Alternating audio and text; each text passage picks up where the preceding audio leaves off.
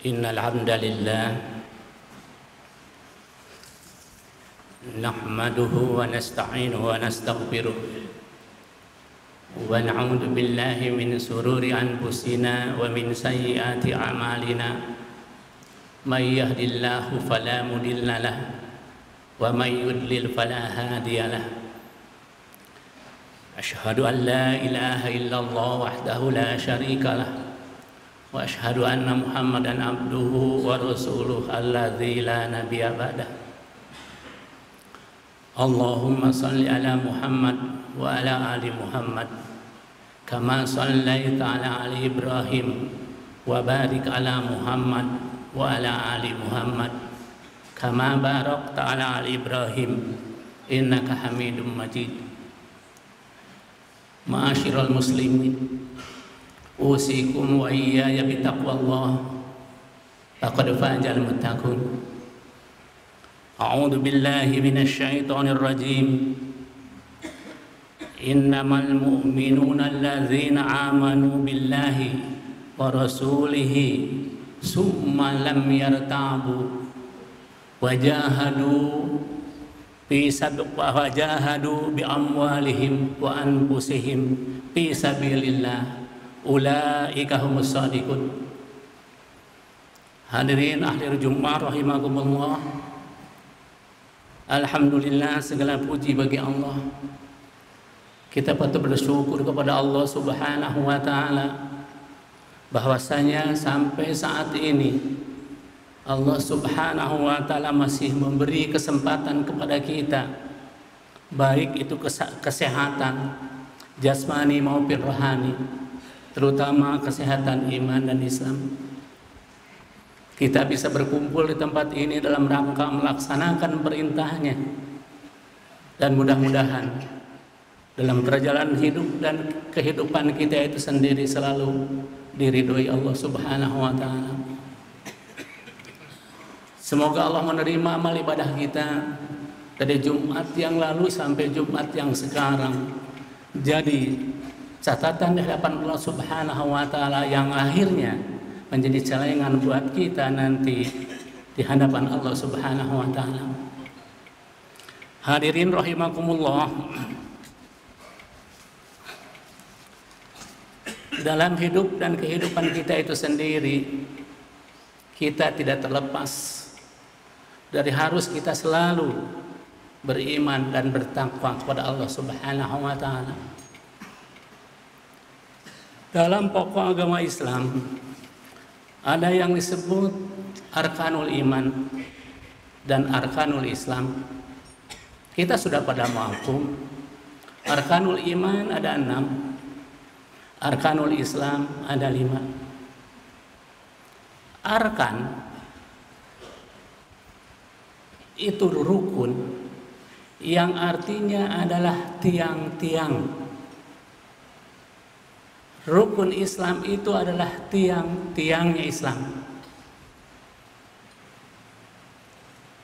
Contoh, tiang bendera itu bukan bendera tiang antena itu juga bukan antena.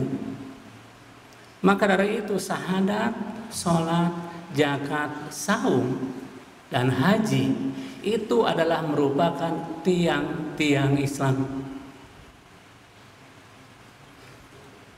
Maka orang hanya sekedar melakukan, melaksanakan, mengucapkan dua kalimat syahadat melaksanakan sholat, membayar zakat, saum dan haji, itu semua baru kita ini mendirikan tiang-tiangnya Islam. Kalau begitu Islam yang mana? Allah berfirman, Inna dina indallahil Islam. Sesungguhnya agama di sisi Allah itu hanyalah Islam. Inna Allah astofa lakumuddina Fala tamutunna illa wa antum muslimun Sesungguhnya Allah telah memilih Buat kamu sekalian Agama ini Maka jangan sekali-kali kamu mati Kecuali dalam penyerahan diri Kepada Allah subhanahu wa ta'ala Hadirin rahimakumullah. Kita sering terjebak hanya sekedar melaksanakan ibadah mahdoh rasanya kita itu sudah betul-betul beriman kepada Allah Subhanahu wa taala salat tidak pernah kita tinggalkan. Saum kita laksanakan. Bayar zakat fitrah. Haji bolak-balik umroh dan lain sebagainya. Malahan sudah berani kita mengatakan kalau sudah mengucapkan dua kalimat syahadat itu adalah mengaku bahwa kita adalah seorang muslim yang sempurna. Hadirin rahimakumullah, Ibnu Rajab dalam kitab Ja'al Kasab ayat ke-28 beliau menerangkan bahwa keislaman seseorang itu ada dua. Ada Islam dunal iman, Islam tanpa iman. Ada Islam paukal iman Islam yang didasari dengan iman wal islamu dunal iman huwal i'tirafu bil lisan dunal i'tiqadi wal amali. Yang dimaksud Islam tanpa iman yaitu hanya sekedar pengakuan saja. Dia mengaku seorang muslim. Tidak disertai dengan keyakinan dan pelaksanaan yang benar. Dalam Al-Quran surat Al-Hujarat ayat 14 digambarkan Qalat Arabi amana Orang-orang Arab gunung datang kepada Rasulullah Shallallahu Alaihi Wasallam. Kami telah beriman. Kul katakan, lam tu'minu kalian belum beriman. Walakin kulu aslamna tapi ucapkan kalian baru masuk Islam. Walamma yadhulul iman fi qulubikum.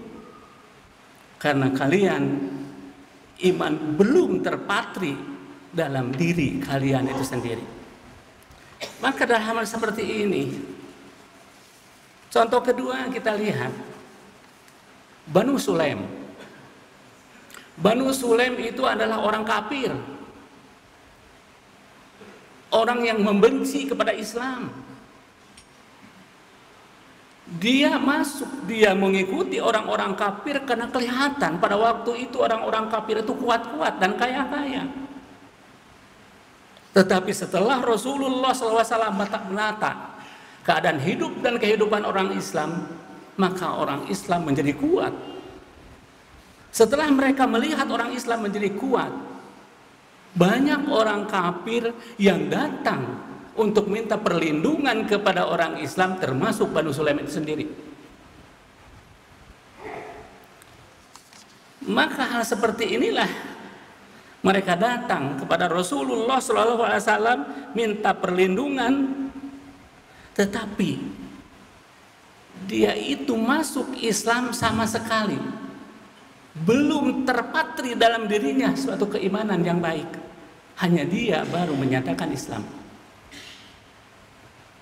Sedangkan yang dimaksud Islam yang didasari iman ialah di samping pengakuan lisan juga disertai dengan keyakinan di dalam hati, disertai menyempurnakannya, melaksanakan semua ajaran-ajaran Islam dengan sempurna. Dan dia tidak takut apa pun juga yang dihadapi. Begitu dia mengucapkan la ilaha illallah, tiada Tuhan selain Allah. Apa pun juga yang dia hadapi, baik yang namanya penguasa-penguasa dolim dan lain sebagainya, tidak ada yang satu pun yang ditakuti. Contoh, sikap Nabi Ibrahim.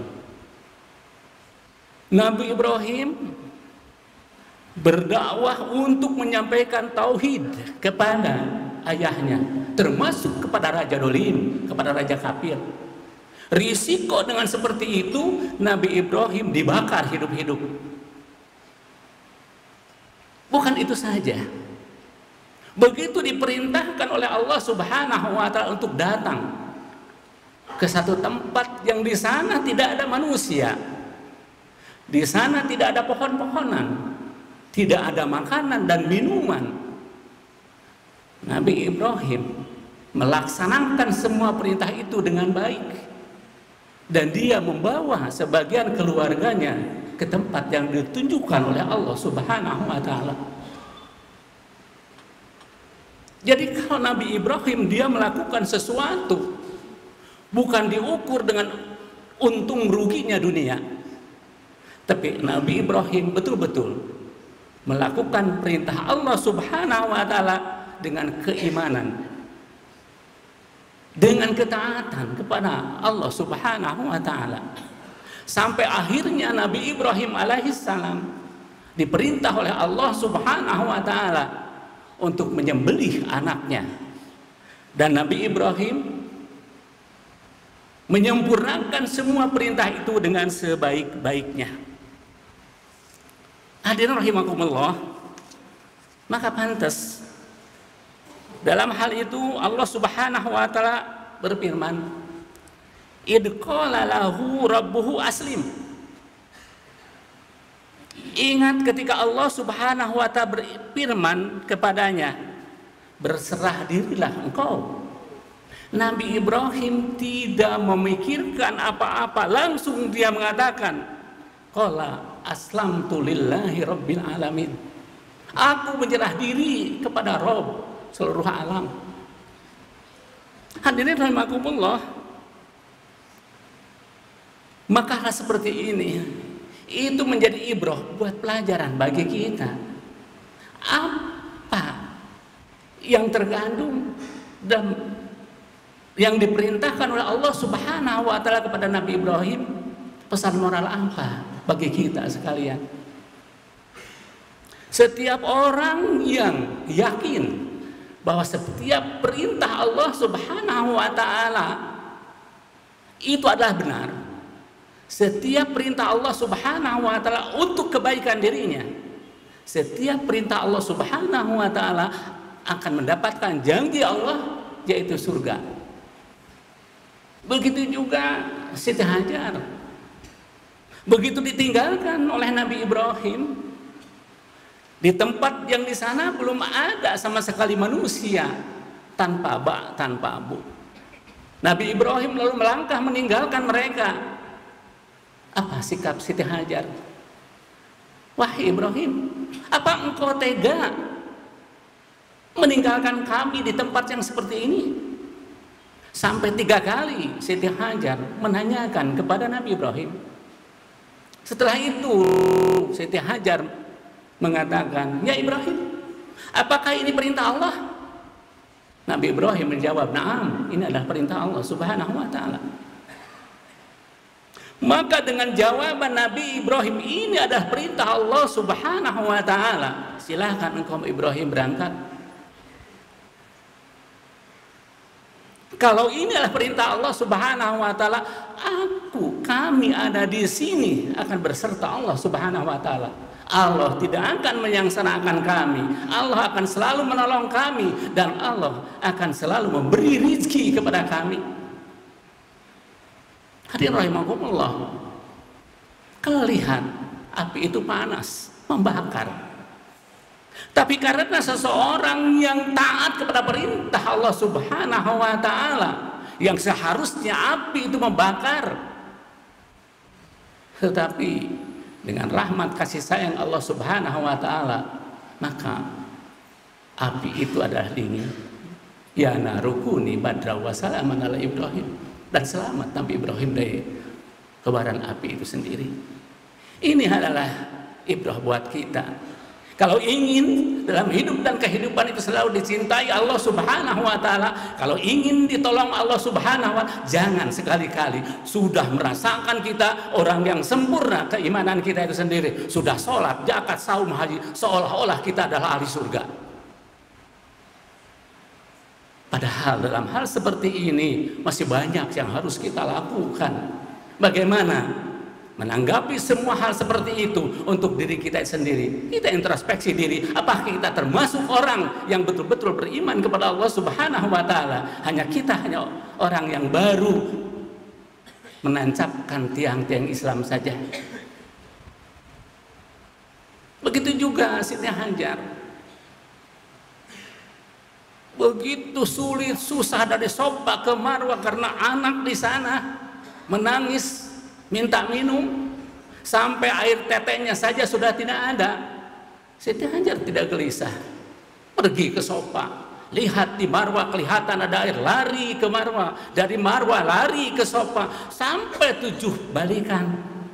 Artinya seseorang yang memohon kepada Allah subhanahu wa ta'ala jangan cengeng. Kita harus yakin bahwa Allah subhanahu wa ta'ala mengabulkan permintaan kita maka tujuh itu adalah maksimal tujuh itu adalah banyak maka orang yang betul-betul dengan sabar dan ikhlas menghadapi semua perintah Allah Subhanahu wa taala, maka Allah akan menjawabnya. Begitu juga Siti Hajar dijawabnya oleh Allah Subhanahu wa taala dan keluarlah yang namanya air yang disebut sekarang jam-jam itu sendiri. Barokah sampai sekarang orang yang datang ke tanah suci untuk meminum air jam-jam di bawah air jam-jam air jam-jam tidak pernah berkurang. Itu yang namanya barokah. Perbuatan siapa itu? Semua adalah karena keimanan seorang wanita yang yakin kepada Allah Subhanahu wa taala bahwa Allah akan menolong dalam hal seperti ini. Itulah pelajaran buat kita supaya kita pun juga melihat memperhatikan apa yang dilakukan hal seperti itu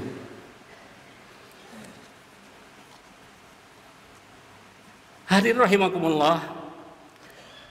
Allah Subhanahu wa taala berfirman, "Wa man ahsanu dinan paman aslama wajhahu lillah wa huwa muhsinun." Dan tidak ada orang yang lebih baik agamanya daripada orang-orang yang memasrahkan dirinya memasrahkan dirinya betul-betul kepada Allah Subhanahu wa taala. Sambil dia wahwa muhsinun sambil dia mengerjakan kebaikan. Maka dalam hal seperti ini Allah subhanahu wa ta'ala akan selalu melindungi kepada siapa saja. Dan Allah akan nanti menjawab semua hal seperti itu dengan jawaban bahwa kita akan dikeluarkan dari semua apa yang kita hadapi dalam hidup dan kehidupan itu sendiri. Baik menghadapi permasalahan-permasalahan yang ada di dunia ini sendiri. Mungkin kita tertekan, mungkin karena ada di sekitar kita orang yang selalu dolim kepada kita itu sendiri. Tetapi kita dengan sabar kita menghadapinya karena ini adalah suatu perintah dari Allah Subhanahu wa taala. Bal man aslama wajhahu lillah wa muhsinun. Tidak demikian bahwa barang siapa yang mengerjakan, yang menyerahkan diri kepada Allah sedang dia berbuat kebaikan, maka baginya pahala pada sisi Tuhannya dan tidak ada kesedihan terhadap mereka, tidak ada ketakutan dan lain sebagainya. Hadir rahimakumullah. Bagaimanapun juga skenario manusia begitu baik dan lain sebagainya dia punya rencana seolah-olah. Dengan rencananya itu sendiri banyak orang yang mendukung dan lain sebagainya. Tapi kalau Allah subhanahu wa ta'ala mempunyai rencana lain siapa pun juga tidak akan yang bisa menghalanginya. Maka dengan demikian hadirin Allah jadi jelas yang disebut Islam itu adalah menyerahkan menyerahkan diri pada Allah Subhanahu wa taala segala keperluannya, kepentingannya. Serahkan kepada ketentuan Allah Subhanahu wa taala. Hidup hanya mencari doa Allah Subhanahu wa taala. Kita taat kepada Allah dan Rasulnya ibadah jangan keluar dari tata cara yang dilakukan Rasulullah Shallallahu Alaihi Wasallam. Maka insya Allah kita akan mempunyai ahlakul karimah. Keluar daripada kita melakukan sholatnya, kita mendirikan sholatnya, mendirikan saumnya, kita melaksanakan saumnya, melaksanakan ibadah haji dan sebagainya. Dari semua itu akan ada asar, akan ada bekas bahwa kita menjadi ahlakul karimah. Orang yang selalu mempunyai akhlak yang terpuji dalam hidup dan kehidupannya itu sendiri. Barakallahu liwalakum.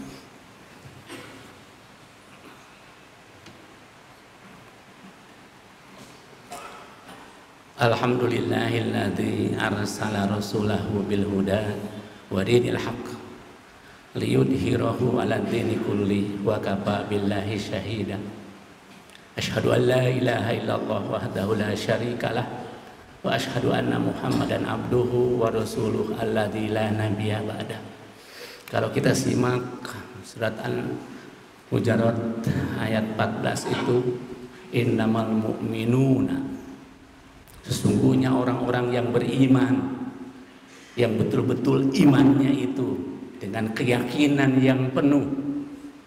Kalau dia mengatakan bahwa tidak ada Tuhan selain Allah dan Muhammad itu adalah Rasulullah dan dia yakin bahwa akhirat itu adalah ada dan dia yakin semua amal perbuatan dia akan dipertanggungjawabkan di hadapan Allah Subhanahu wa taala. La tajuru qadama abdin hatta yus'ala. Tidak akan bisa melangkah nanti seseorang pada hari kiamat hadapan Allah Subhanahu wa taala sebelum dia mempertanggungjawabkan di antaranya empat perkara. An umrihi. Allah memberikan umur kepada kita sampai 40 tahun, 50 tahun, 60 tahun.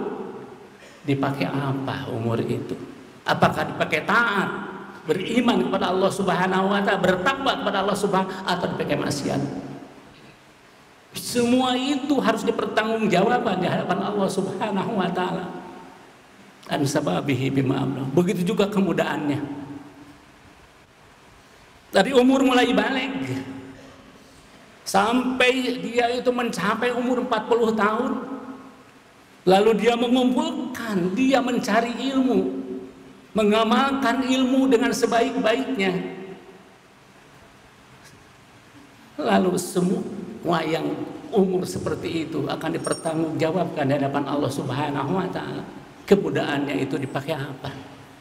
Sedangkan Allah memberi kekuatan kepada dirinya, kesempatan kepada dirinya. Tapi apa yang dia perbuat untuk kebaikan dirinya di hadapan Allah Subhanahu wa taala? Apakah dipakai hura-hura? Apakah dipakai maksiat? Apakah dipakai taat kepada Allah Subhanahu wa taala? Sedangkan masa muda itu menentukan masa tua. Rasulullah mengatakan, "Sholli qaiman, fa illam yastati fa qaidan, fa illam yastati ala jambin."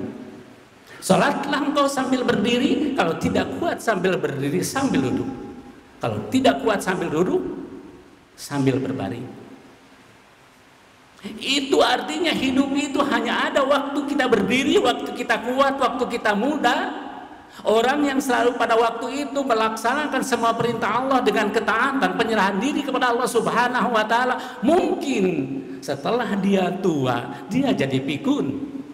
Dia tidak lagi kuat melaksanakan sholat berdiri, tapi tetap pahalanya akan dia dapat seperti sholat sambil berdiri. Sampai dia pikun, dia tidak lagi melakukan perintah Allah Subhanahu wa taala, tetapi dia akan tetap mendapat pahala seperti dia waktu mudanya itu sendiri. Tapi bagaimana kalau seandainya dia sama sekali tidak melakukan tidak mempergunakan kemudaannya itu sendiri untuk taat kepada Allah Subhanahu wa taala?